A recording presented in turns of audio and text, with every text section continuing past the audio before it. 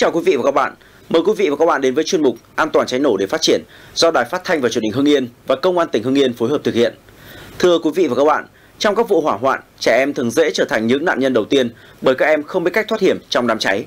Do vậy, việc trang bị kiến thức, kỹ năng về phòng cháy chữa cháy cho các em cần được thực hiện thường xuyên liên tục. Cụ thể vấn đề này sẽ được phản ánh trong tiểu mục Góc nhìn 114. Trong tiểu mục Alo 114 sẽ là một số kỹ năng thoát hiểm khi xảy ra hỏa hoạn tại trường học. Trước tiên, mời quý vị và các bạn cùng theo dõi bản tin 114. Ngày 4 tháng 3, Ủy ban Nhân dân tỉnh Hưng Yên ban hành kế hoạch số 40 KHUBND về việc tổ chức hội thi nghiệp vụ chữa cháy và cứu nạn cứu hộ tổ liên gia an toàn phòng cháy chữa cháy trên địa bàn tỉnh.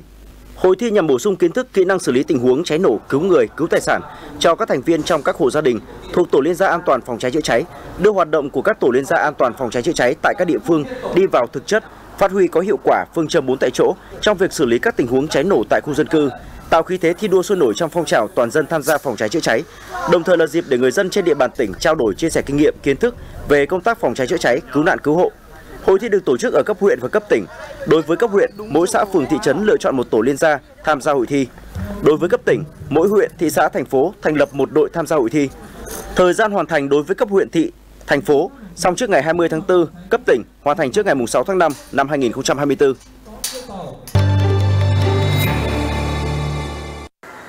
Khu trung cư Phúc Hưng trên địa bàn phường Bần Yên Nhân, thị xã Mỹ Hào, mặc dù chưa được nghiệm thu phòng cháy chữa cháy nhưng đã được đưa vào khai thác sử dụng từ năm 2018.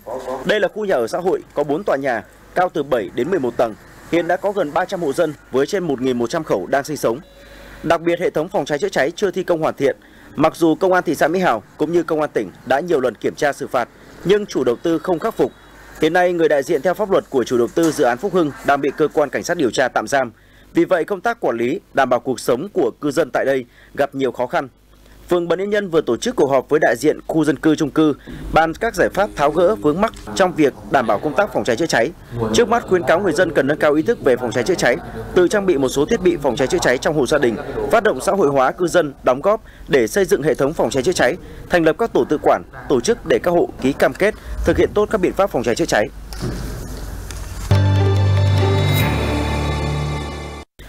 Ngày 14 tháng 3, tại làng Triều Khúc, huyện Thanh Trì, Hà Nội, xảy ra vụ cháy khu nhà trọ cao 5 tầng.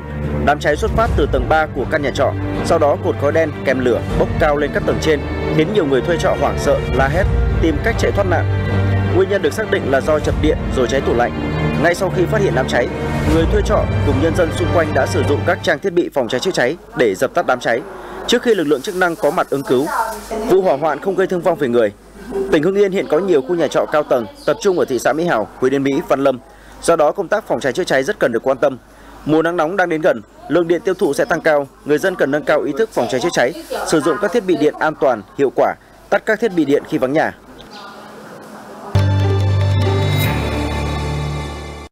Ngày 14 tháng 3, tại huyện Yên Lạc, tỉnh Vĩnh Phúc xảy ra vụ cháy 3 cơ sở tái chế nhựa. Cụ thể, tại xã Yên Đồng, huyện Yên Lạc, tỉnh Vĩnh Phúc xảy ra vụ cháy nhà xưởng tái chế nhựa, sau đó lan sang hai xưởng tái chế nhựa của hai hộ dân bên cạnh. Vụ cháy không gây thiệt hại về người nhưng thiệt hại lớn về tài sản. Trước đó tại phường Dị Sử, thị xã Mỹ Hào, tỉnh Hưng Yên cũng đã xảy ra vụ cháy nhà xưởng tái chế nhựa của gia đình bà Vũ Thị Thủy, làm sập hơn 300 mét vuông nhà xưởng, thiệt hại hàng tỷ đồng, làm hư hỏng nhà cùng nhiều tài sản của hai hộ dân bên cạnh. Ngay sau khi vụ cháy xảy ra, Đại tá Nguyễn Thanh Trường, giám đốc công an tỉnh đã đến kiểm tra hiện trường, chỉ đạo khắc phục sự cố, đồng thời yêu cầu các cơ quan liên quan tăng cường kiểm tra, xử lý nghiêm đối với các hộ kinh doanh tái chế phế liệu còn tồn tại nhiều vi phạm về phòng cháy chữa cháy tại tổ dân phố Phan Bôi và các làng nghề trên địa bàn tỉnh.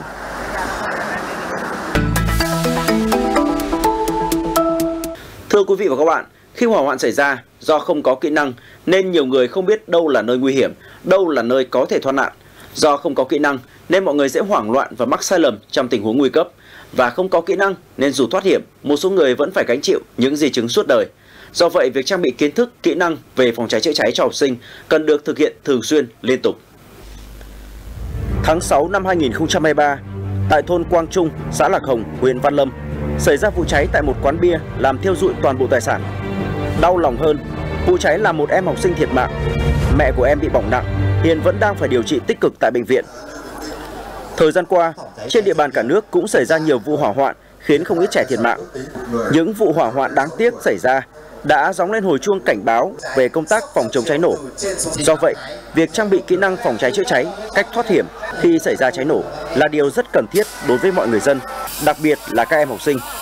Việc tuyên truyền nâng cao cái kiến thức, kỹ năng và trải nghiệm cho các cháu học sinh uh, trên các trường là có ý nghĩa rất quan trọng giúp cho các cháu học sinh à, uh, nắm được những kỹ năng hiểu biết về công tác phòng ngừa uh, phòng cháy chữa cháy tại gia đình ờ, và trường học để từ đó các cháu có thêm hiểu biết và có những cái chủ động ờ, phòng ngừa.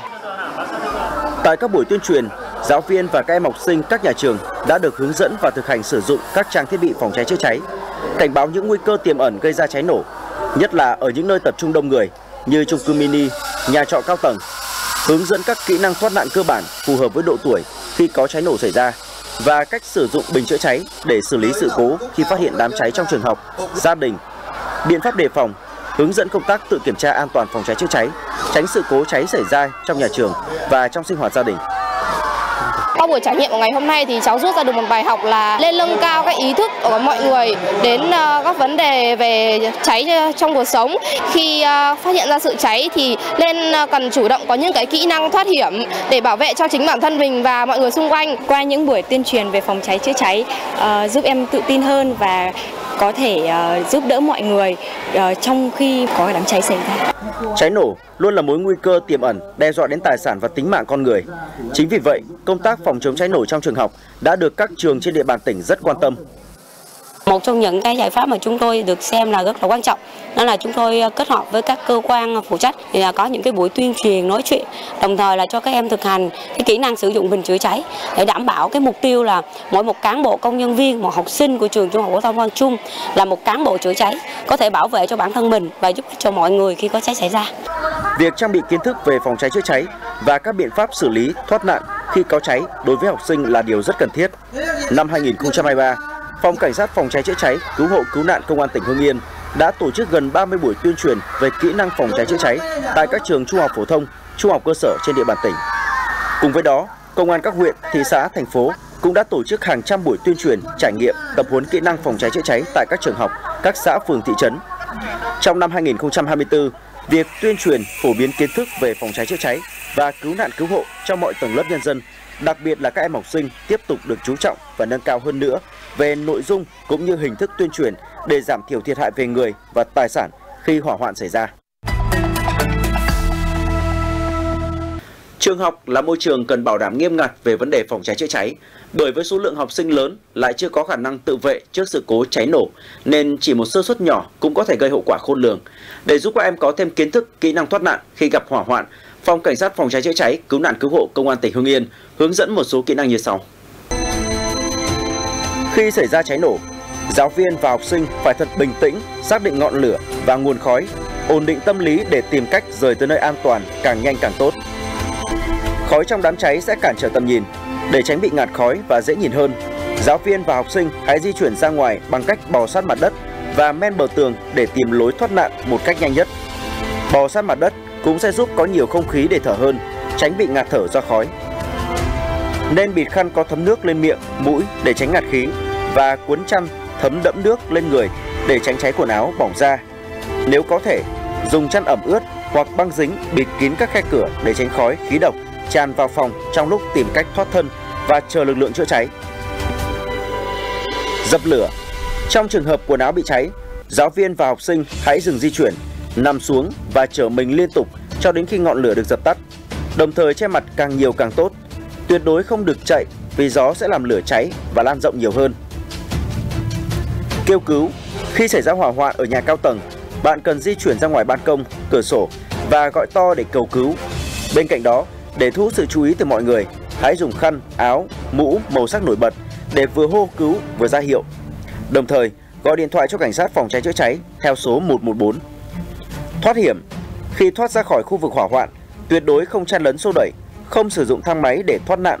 Vì khi có sự cố cháy nổ, nguồn điện sẽ bị cắt nên thang máy sẽ bị dừng. Bạn cần bình tĩnh di chuyển theo đường cầu thang bộ. Hợp tác Khi xảy ra hỏa hoạn, bạn phải bình tĩnh, chú ý làm theo hướng dẫn của lực lượng cảnh sát phòng cháy chữa cháy và đội ngũ cứu hộ.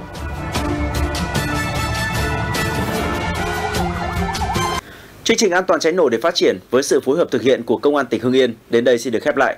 Cảm ơn quý vị và các bạn đã quan tâm theo dõi. Kính chào tạm biệt và hẹn gặp lại.